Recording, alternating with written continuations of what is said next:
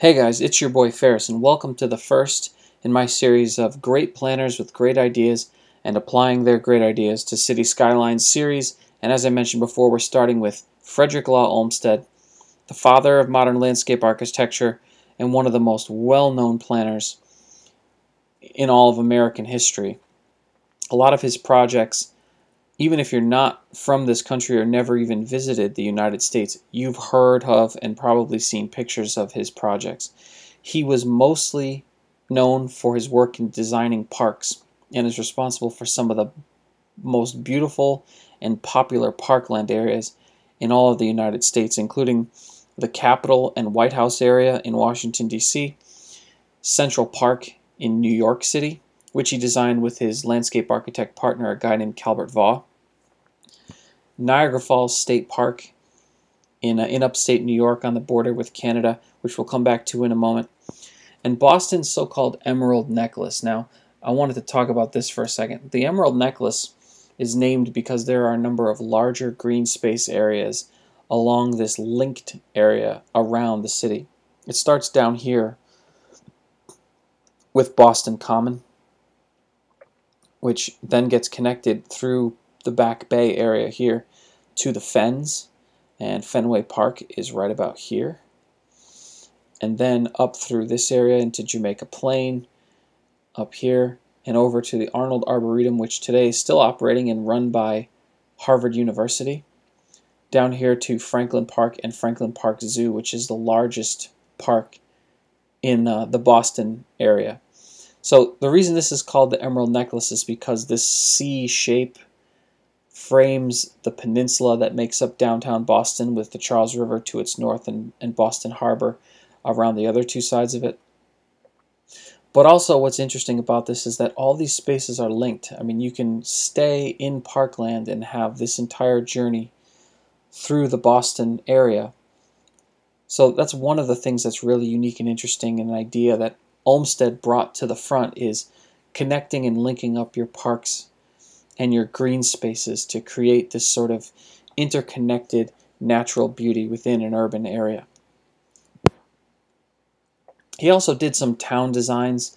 This is a plan he did uh, with Calvert Vaux for the town of Riverside, Illinois, which is just outside of Chicago.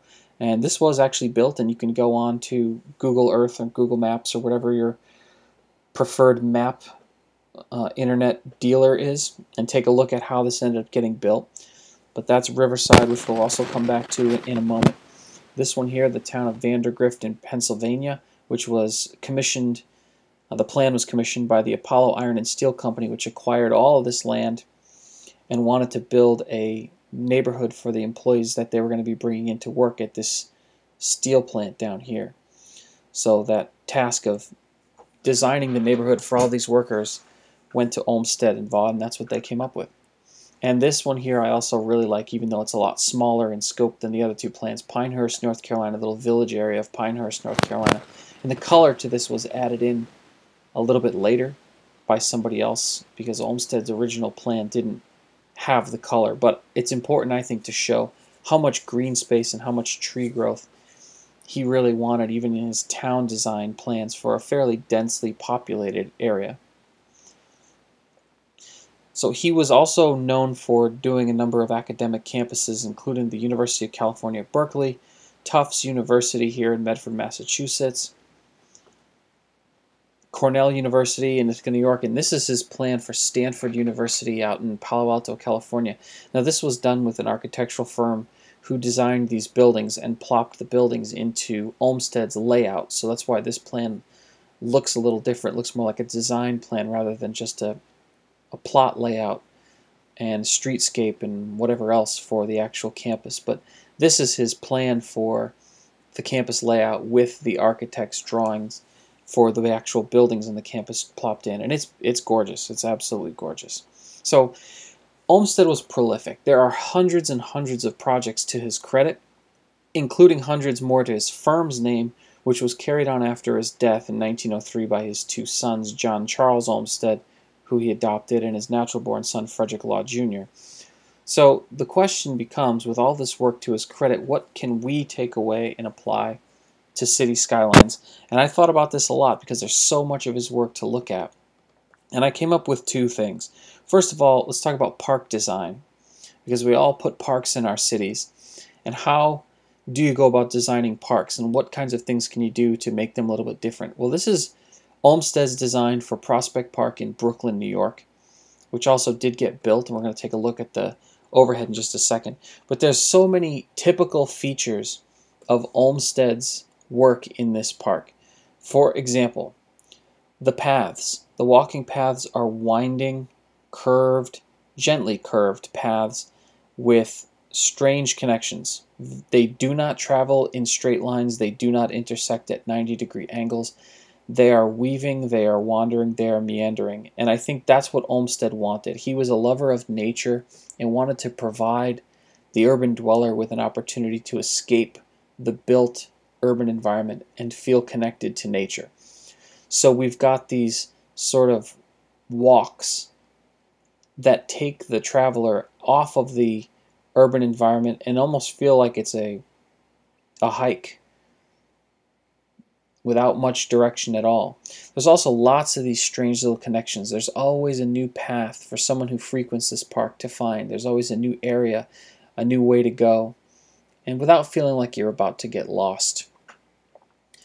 So that's something to keep in mind when designing parks. We don't want to necessarily give the traveler a beeline to get from this side of the park here at this entrance all the way over to this entrance in just a straight line. Make them work for it we want our park travelers to, uh, our park visitors, I should say, to feel a little bit connected to nature as they're going to the park and almost forget that they're in a city, which is something that people say a lot about Central Park in New York, and to its credit. So that's number one. Secondly, he also respected, as much as he loved tree growth, and if we take a look at the actual park here, See, there's tons of thick tree growth in Prospect Park, and there is in Central Park as well, and a lot of Olmsted's parks. But he also respected the open, grassy areas. These had a lot of value for recreation, he realized. So you'll always see that as well, and Central Park has them, and a lot of other Olmsted parks too will have these open grassy areas for recreation or for other things as well. And the last thing that I would say is a absolute benchmark of any Olmsted Park. I got to flip back to our look at Niagara Falls Park. Now, this isn't a great angle to look at it, but one of the things that Olmsted always tried to do in his park was protect the scenic vista. Give the visitor to the park scenic views. So the elevations of this park are pretty drastic, going from here downhill this way to the water and downhill this way to the water. There's actually about a cliff that goes right about here along this tree line. Um, and another significant drop right in here along this. So this is a flat driving or walking path, I'm not really sure, out to this scenic area that overlooks the river and the falls. So if you can picture that and you can see the shadow over here, how drastic this is this I, the idea of this and especially these paths along here were created so that the person walking these paths would have the perfect scenic vista of the river below and then over here being able to look at this part of the falls. But these paths up here as well they were designed with the idea of still having those same scenic views because they're such, at a such higher elevation than these other paths below so at every point in this park, wherever you are, he protected the scenic vista of the path that you're walking on. Taking into note the elevations and making sure that at each elevation there was something new to see.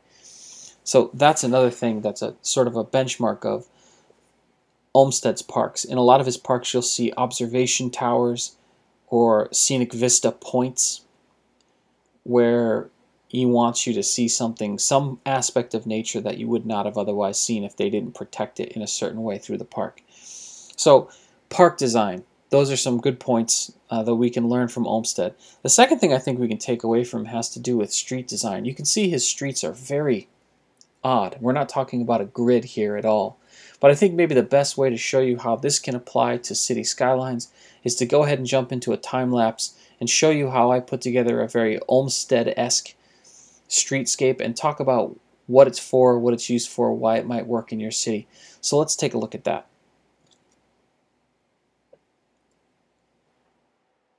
So my take on an Olmsted streetscape in city skylines is going to look a little bit of something like this. Gently curving streets, minimizing the intersections. And part of the problem with the grid is that it creates so many intersections and they all have to be regulated.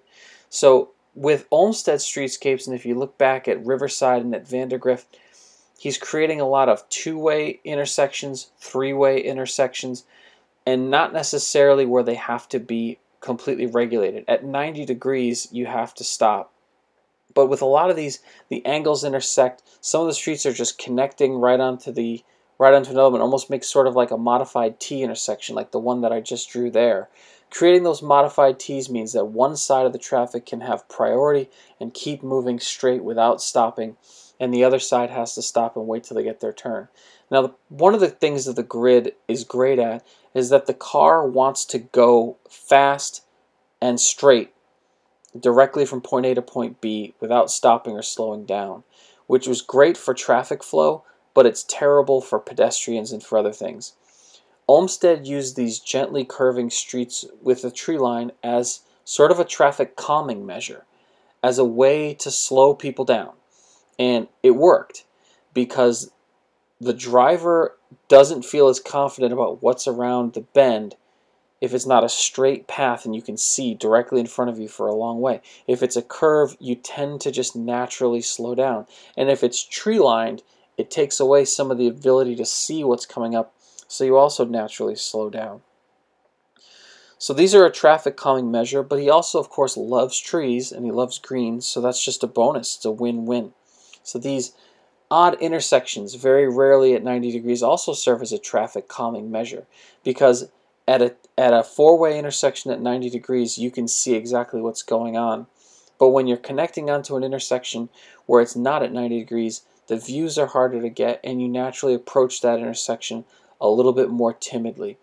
So this was my take on it here. I don't know if this type of a streetscape works well for like an urban downtown, but for a suburban style residential neighborhood, I just think this streetscape that you have here, this layout, is so interesting and will work so well for that. I really encourage some of the city skyline builders to try to create that this type of a streetscape instead of sticking with the grid.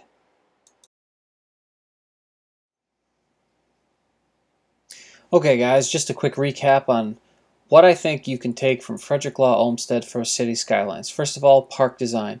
Link your green spaces, connect them together to make one larger parkland area that makes that gives your city dwellers a chance for a little bit of connection with nature.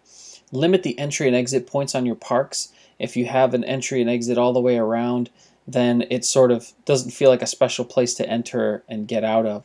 It also makes it feel more like a getaway. Gently winding paths, having those direct connections at 90 degrees zipping from one side of the park to the other doesn't give you the escape that somebody like Frederick Law Olmsted would want the urban dwellers to have. Utilizing both tree growth and open grassy areas, and maximizing scenic views utilizing the elevations. So if you have a park that's on the side of a hill, definitely take advantage of that. Make sure your paths are connected, but also going along those elevations so that people on those higher elevation paths have something really special to look at. Secondly, street layout and design. Utilize gently curving tree-lined streets which rarely intersect at 90 degrees and they create rounded polygons of development. And if you take a look especially at the Riverside plan, you see sort of these rounded ovals with plots in them for development. Again, the idea is to have those gently curving traffic calming measures in place around those residential development areas. I hope you've enjoyed this look into Frederick Law Olmsted. I hope this gives you some cool ideas and ways to apply some of what he did to city skylines.